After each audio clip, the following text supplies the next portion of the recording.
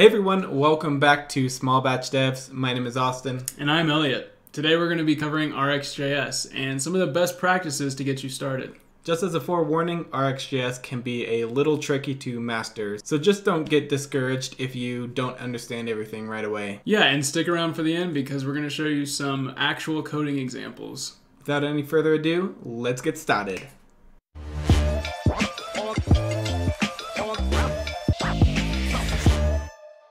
So what is RxJS? So RxJS is a JavaScript library that makes our code more reactive. It uses a construct called observables that are really exactly what they sound like. They are basically an object in our code that just looks for events and when it gets an event, it reacts to it.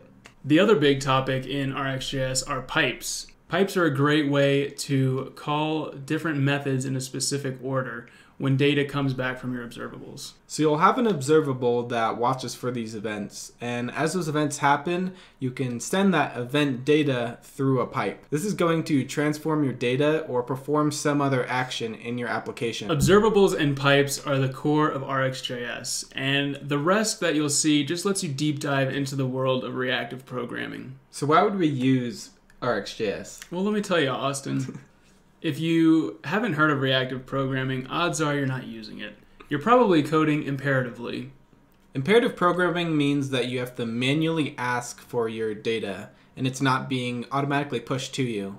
To make your application smoother, you're going to want to compare these programming paradigms. A good example is when you first load a page and you ask for data from your database, that's imperative programming. But with reactive programming, you're able to turn that first call to the database into an observable and then react to any changes in the database from then on out. It's pretty sweet. A A really popular library built on that exact principle is Firebase, and we actually have a couple videos on that. It's pretty awesome. The point we're trying to get across is that reactive programming can make your app much faster when reacting to the world around it and will just give your users a much more pleasant and smooth experience. It's always a good thing. The first step in using RxJS in your application is installing it. We already have it installed, but the command you're going to run is npm install RxJS, and that's going to load the latest version of RxJS in your application. Once you have RxJS installed, the imports are handled a little bit differently.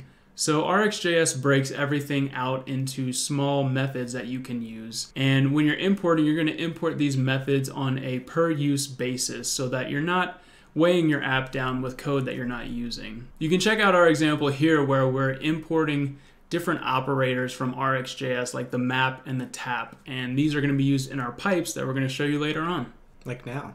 Like, like right now, yeah. so for our first example, let's start with something very simple. You can see here we're using the from event method, which is from RxJS. And all this is doing is listening to the click events on the DOM. So every time we click our mouse, it will console log clicked and the event. To demonstrate our first example, we're here on a new component that we created specifically for these demos. And all we're gonna do is click on the page and you can see that our log gets output. That's pretty neat.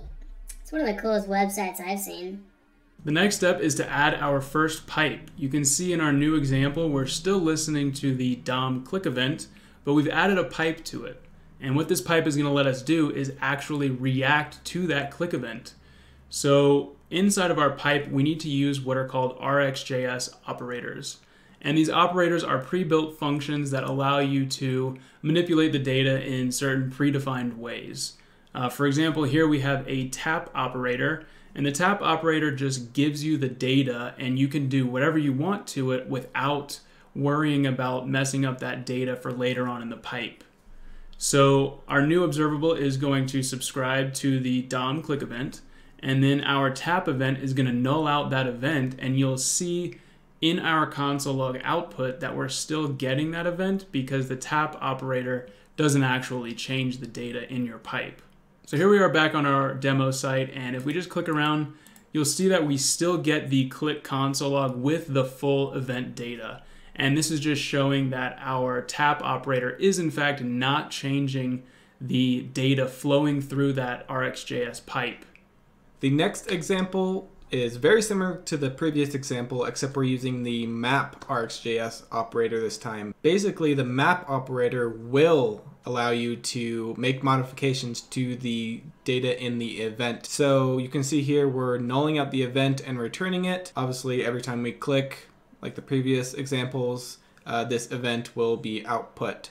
So back in our browser, we'll start clicking around again, and now we are getting null for our event. It's not outputting a bunch, but you can see here there is a number that is we're repeating the same thing, so it's adding a number next to it and not a bunch of separate console logs. Yeah, the mapper operator is going to be one of your more commonly used operators. True. True that. True. Now we're going to show you how to chain your RxJS operators in a single pipe. The chaining of operators in a pipe is a really good way of performing sequential operations on your data as it comes through your pipe. In this example, we are still nulling out our event in our map operator, but right after it, we're calling the tap operator to just console log and show that the data is changing throughout this pipe. So if we do a click here, you'll see that the tap operator is outputting second operator with a null. And that null is of course coming from the map operation that we're taking the event and nulling it out. And then you can still see we're still performing our clicked console log in the subscribe method. So you can use chaining to create a pretty expansive set of operations on your data as it comes through. In this example, we are creating a subject, and the subject is just a way of defining our own observables. You can see we just create an empty subject, and then we actually will pipe and add our own tap function, which just logs tapped and then our event data. And then we subscribe to the observable, which you have to do with all observables in, in order for them to actually go through. And we are logging received event and then that same data event. And then you can see we have two lines that call next. And this is just us manually pushing an event through our stream, through our observable stream. When the page loaded, we get our first event, which goes through the tap and the subscription and then our second event, which also goes through the same tap and subscription. Lastly, we're going to show you kind of a big problem in RxJS that you need to be aware of and handle properly when using this. Here we have the interval function, which is specific to RxJS, and what it does is it sends out automatic events given a time period that you define. So our interval is going to send out an event every 500 milliseconds. And then we have a pipe that just console logs that the tap operator is executing and of course we're subscribing to it. So if we jump into the Firefox browser now you can see that our interval is firing pretty rapidly and it's just going to keep going and going and going and going and going and the problem lies when you navigate away from this page. We're on a different page now. We're no longer on the demos page but you can see our operator is still firing and this is because we have not unsubscribed from that observable.